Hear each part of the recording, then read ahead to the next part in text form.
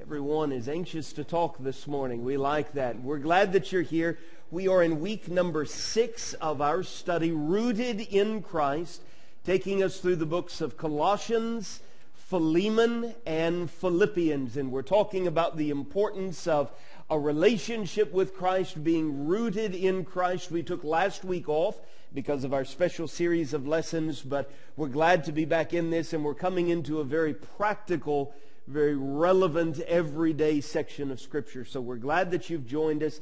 We'll be in the middle of Colossians 3 in just a moment. Before we begin, if you will bow with me, let's start off our time together with a word of prayer this morning. Our Father who is in heaven, we bow before you and we express to you our very great thanksgiving for this opportunity to address you as our Father as the one who so richly and abundantly provides for us. We thank you for our physical blessings, but Father, thank you above all for the spiritual blessings that are freely available to us in Jesus Christ. Father, help us in this life to be good stewards. Help us to live with perspective. Help us to recognize the immeasurable treasures that are available in Christ. Help us to deeply root ourselves in Christ and allow all of the aspects of our beings to be affected by our relationship with Him and with you. Thank you for this opportunity. We pray that you would be with us throughout this day as we worship and serve you. And it is through Jesus that we pray. Amen. Colossians chapter 3 is where we're going to be starting in just a moment. I want to take just a minute or two to remind us of the basic flow of Colossians. It's important the way that Paul builds his case. He, he doesn't start out in Colossians chapter 1 talking about husbands and wives and fathers and masters and, and things like that. He lays for us a rich, deep foundation that we need to appreciate uh, before we get to that very practical area. He began by pointing us to the preeminent Christ. He wants us to be in awe of the Christ in chapter 1. Then he turns his attention in the latter verses of chapter 1 to us. Here is Christ, uh, the one who is above all and perfect. And then here is you, and here is me. We were alienated. We were hostile in mind. We were doing evil deeds. But through the work of this preeminent Christ, we can be reconciled by his death to live holy and blameless lives as living sacrifices to Him. But in order to do that, we must continue in the faith. We must continue stable. We must continue steadfast. We must not shift away from the hope of the gospel. In layman's terms, we must be deeply rooted so that whatever storms come along, we are not uh, blown away from the foundation of Christ. In Colossians 1 and in Colossians 2, he talks about the mystery of reconciliation and how in Christ there are great riches and treasures found. Therefore, is kind of the hinge beginning in chapter 3 and verse 1. If then you have been raised with Christ, he has outlined for us in chapter 2 what it means to die with Christ, to put ourselves to death and be buried and raised to walk in newness of life. And now this is how that translates into practical everyday Monday morning life. Okay? This is what we need to hear appreciating that rich foundation. If you've been raised with Christ, seek the things that are above. Set your minds on things above. He reminds us you've died. Your life is hidden with Christ in God.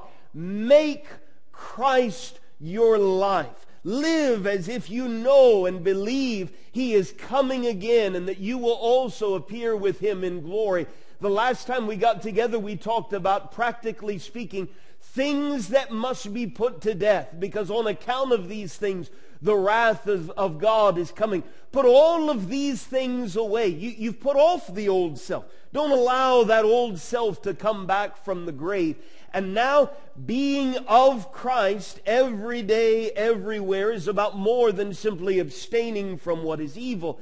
It is about actively involving myself in what is good. Putting on as those who are chosen and holy and beloved the, these Christ-like characteristics and love that binds everything together.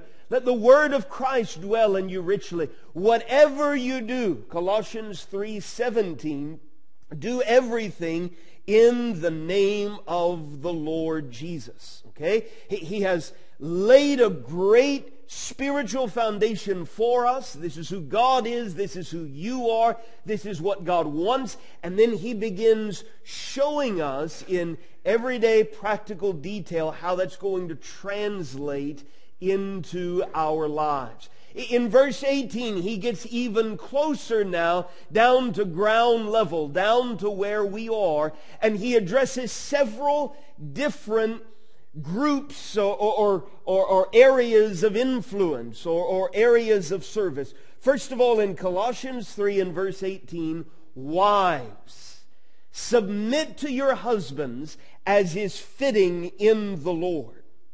Husbands, love your wives and do not be harsh with them. Children, obey your parents in everything, for this pleases the Lord. Fathers, do not provoke your children, lest they become discouraged. Slaves, obey in everything those who are your earthly masters, not by way of eye service as people pleasers, but with sincerity of heart, fearing the Lord. Whatever you do, work heartily as for the Lord and not for men, knowing that from the Lord you will receive the inheritance as your reward. You are serving the Lord Christ. For the wrongdoer will be paid back for the wrong he has done. And there is no partiality.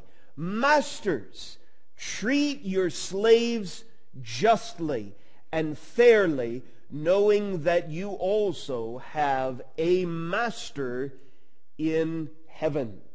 Now, eh, very often we'll break those down and we'll spend 30, 40 minutes just on one of them. Obviously, we don't have the time to do that. We're trying to appreciate the big picture of Colossians, the, the major flow, the, the, the train of thought that, that Paul is developing. Really, this is still flowing off of Colossians 3 and verse 1, right?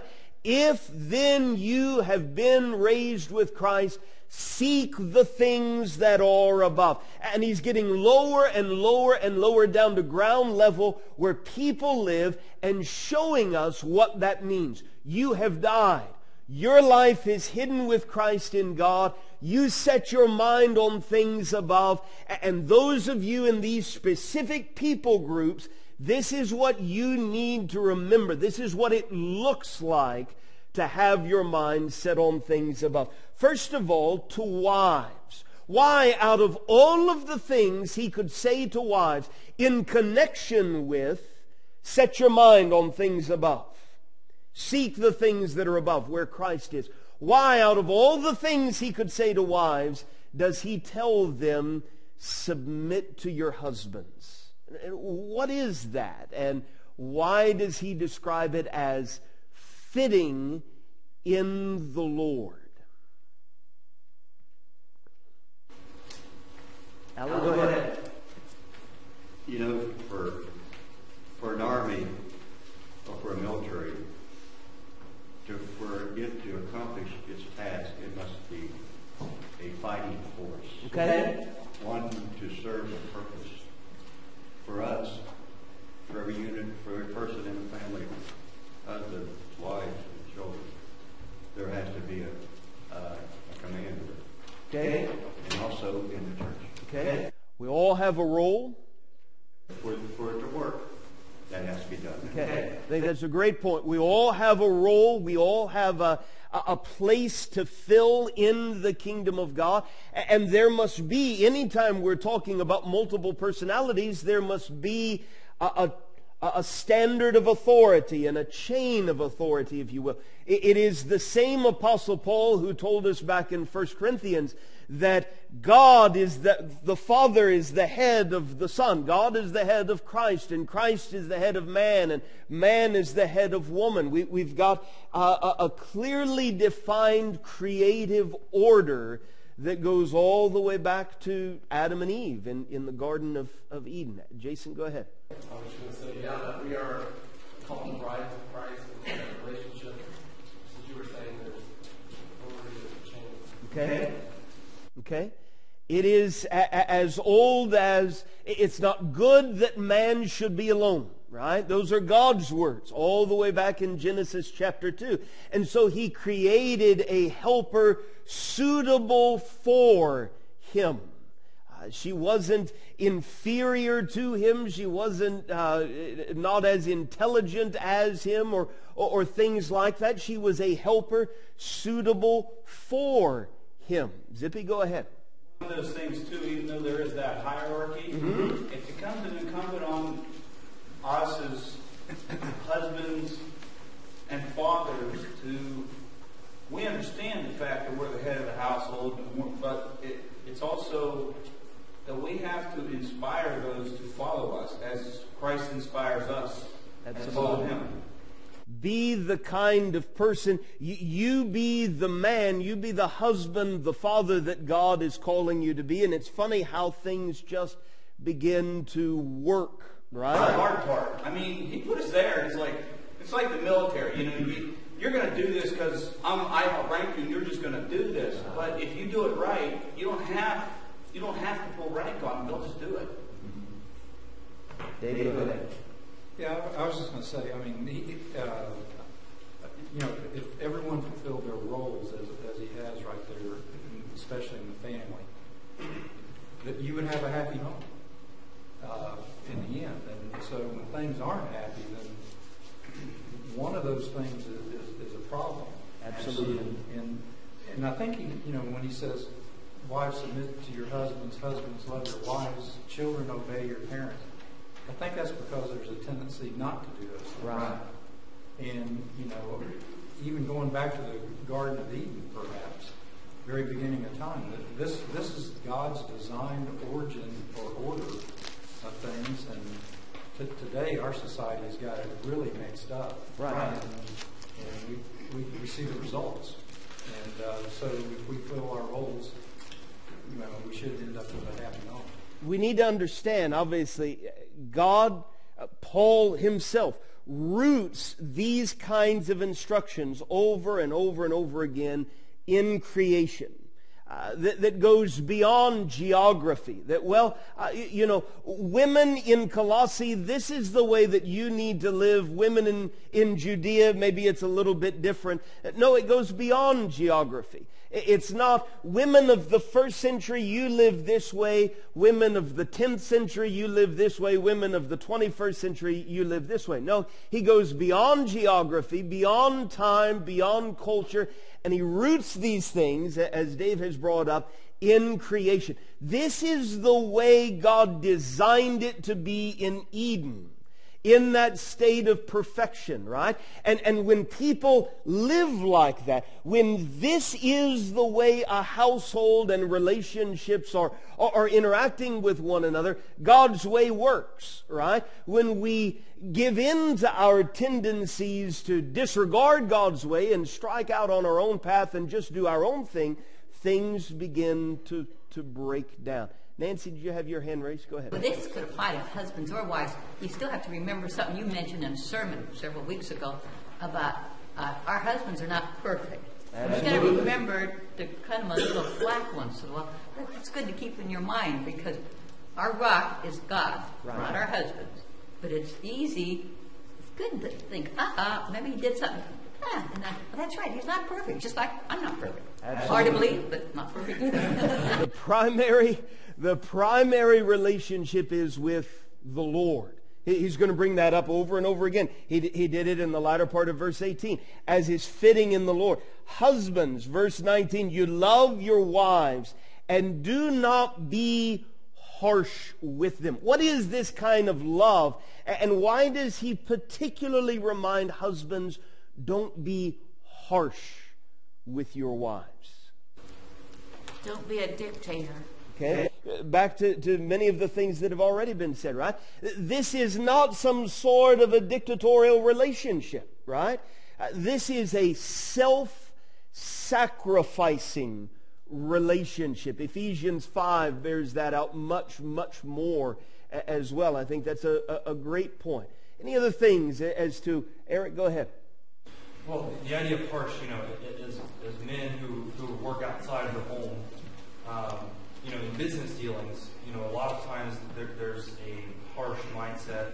You know, you're trying to uh, gain advantage over another person, whether it's for your own growth, uh, company's growth, or whatever. And so, so we as men live in a society and live in a culture where we do that for where that, that's a lot of times the need for work. And so you have to break break away from your tendency and, and say, no, this isn't how we treat our mind has to be set on higher things, right? Going back to Colossians 3 1 and 2.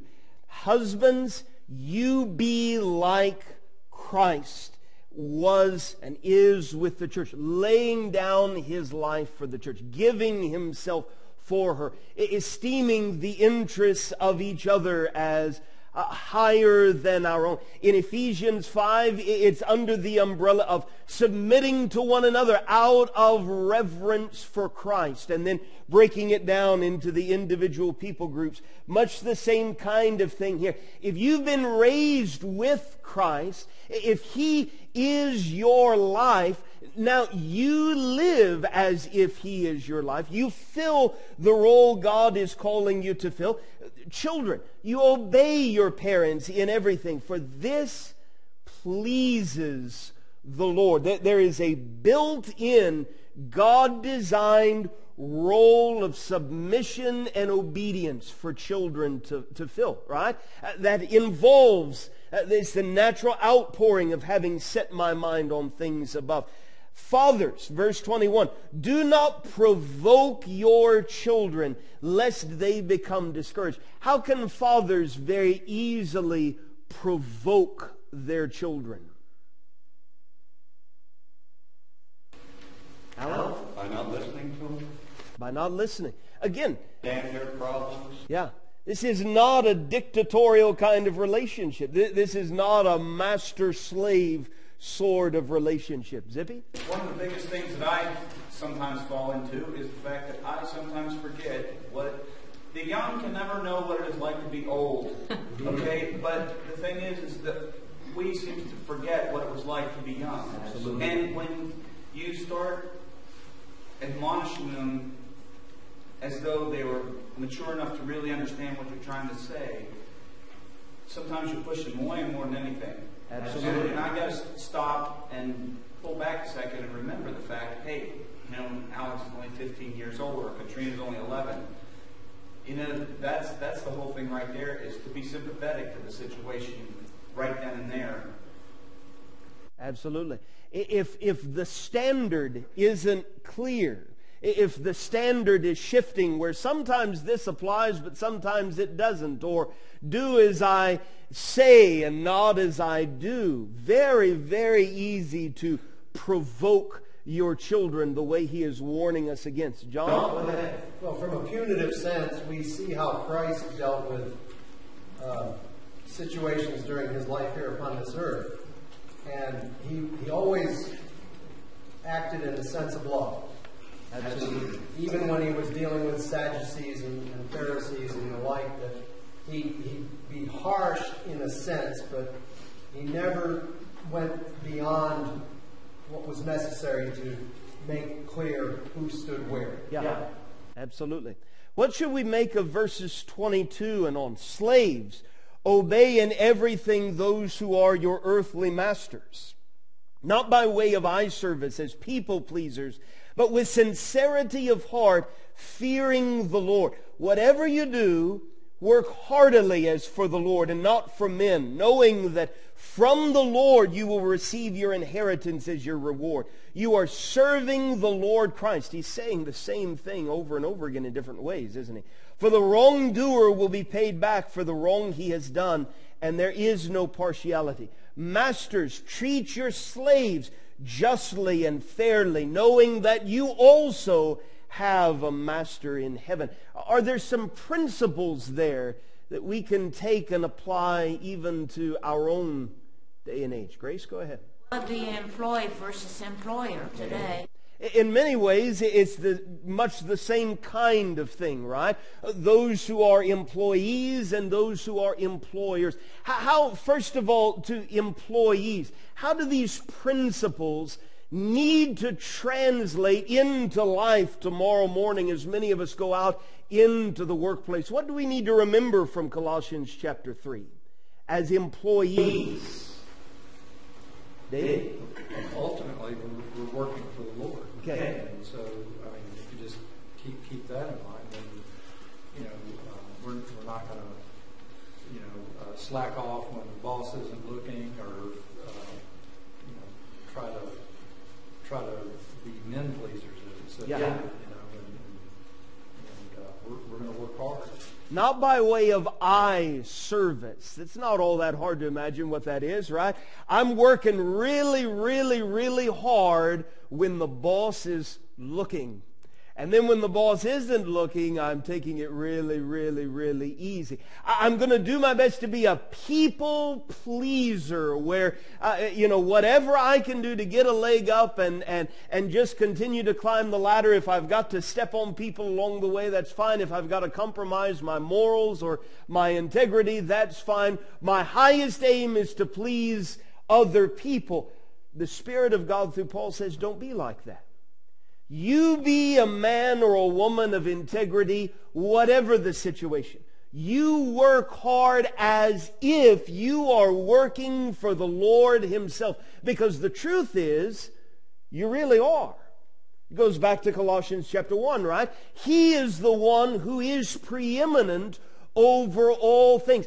And it's amazing if we go out into society and we live and, and we work like this, and in our homes we live and we adopt these attitudes as those in positions of authority with, with others, if we're going to work to treat them justly and fairly. This is all about, listen, this is what it looks like to live with God at the center of your mind on the throne of your heart. This is what happens when minds are set on things above. And guess what? It works. All of these problems and these strifes and, and, and jealousy and selfish ambition and rivalries and deceit and lying and all of these things that we could throw into the messy pot of humanity that we're going to see this week those things begin to disappear when we take God seriously at His Word and apply what He's telling us to everyday life. Alan, what were you going to say?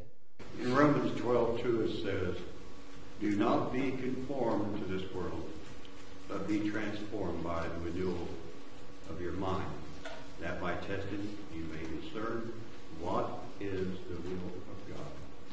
what is good and acceptable and perfect. This is a great practical lens through which we can appreciate what he's telling us in Romans 12, right? This is what the mindset of that living sacrifice really is. You've died. So if we walk according to those of this wheel of this world, mm-hmm. we will guilty with, with Satan. But if we don't, walk toward God, it will be confirming Absolutely. Absolutely. He, he wraps up this instructive section of the letter uh, with a couple of rapid fire admonitions. This is very much like Paul at the end of letters. At the very end, more often than not, he'll have some very personal notes. We'll cover some of those and get into the book of Philemon, Lord willing, next Sunday morning. But a lot of times before he does that, it's like a bulleted list of little short phrases. Don't forget this. Do this. R- remember this. Be this kind of person. This is what it looks like in Colossians. Colossians 4 and verse 2. Continue steadfastly in prayer, being watchful in it with thanksgiving. At the same time, pray also for us that God may open to us a door for the word to declare the mystery of Christ, on account of which I am in prison, that I may make it clear which is how I ought to speak. Walk in wisdom toward outsiders, making the best use of the time. Some of our English translations render that redeeming the time, making the best use of the time. Let your speech always be gracious, seasoned with salt, so that you may know how you ought to answer each person. Practically speaking, Monday morning kinds of terms what does it mean to continue steadfastly in prayer, being watchful in it with thanksgiving? What's that mean? What does that look like? What do we need to take away from this into everyday life this week? Phil, go ahead. I was just thinking, I find myself, and maybe this is what I think Paul talking about. Throughout the day, I'll find myself talking to the Lord kind of just kind of happens. Yeah. And you're always thinking, I have those things in mind. Just an everyday communion with God, walking with God through the day. That involves communicating with Him, right? Dave, do you have your hand raised? Yeah, I was just going to say, uh, you know, he, he links Thanksgiving to prayer. And, you know, if we just think about the things we have every day and, and think about what the Lord's done for us. And I mean, how can we not pray to, to God and, and, thank Him? How yeah. can we not spend time talking to Him? I mean, it, they're, they're very much linked. Yeah. Odds are we all know what it's like to have sacrificed or to have given, to, to uh, provided something for someone else, and for them to take and take and take and never take the time to express their thanks. How does that make you feel? Not good, right? More often than not. Uh, that's immature, right? That's something that we try and help our children uh, learn. This is, this is proper. This is good. And it's, it's rude and self-centered to take and take and take and never express from the heart thanksgiving for what you've got. Paul reminds us, primary way you give thanks to God, talk to him in prayer. Don't, don't just live with this mindset, well, he knows. You know, she knows I appreciate it. He, he knows how much I uh, uh, appreciate everything that he's done. Paul says, don't be like that with God. Nancy? Yes, if you want to feel close to the Lord, you have to talk with him, just like friends and family. The more you converse with them or see them, the closer you feel. And same with the Lord. Yeah. You talk to him once a week, you're not really very close to him. Yeah, yeah. absolutely. Doesn't work in marriage, does it? By any means. By any means. And Jason reminded us of our, our relationship with Christ. What does Paul teach us about prayer with this very personal request in verses 3 and 4. At the same time, pray also for us that God may open to us a door for the word to declare the mystery of Christ, on account of which I am in prison, that I may make it clear, which is how I ought to speak. It's indirect, it's kind of below the surface, but what do we learn about prayer from that request of Paul? It's powerful, right? I mean, it really has an impact. This is not some sort of a psychological thing where, you know, I, I try to, to come up with words in my mind to somehow express, but really it's just all right here and I'm kind of psyching myself out kind of thing. Not at all. Paul truly believes there is power behind prayer. Prayer can change things.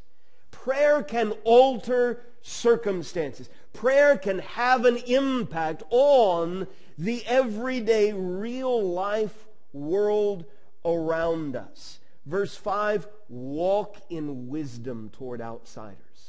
Think about your life, right? Think about your influence. Are, are you functioning as the salt of the earth and the light of the world? Make the best use of your time. This is a, a, preeminently practical section of Scripture, right? This is everyday life. Listen, you only have a certain amount of time. Uh, we remember he told us, he reminds us in Colossians 1, he reminds us again in Colossians 2, the Lord is coming again. The wrath of God is coming against all sorts of unrighteousness. Don't waste the time God has given you. Don't waste your life.